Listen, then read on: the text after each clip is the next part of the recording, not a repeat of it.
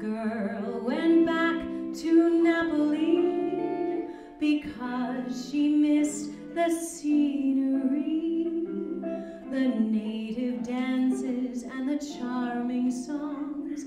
But wait a minute, something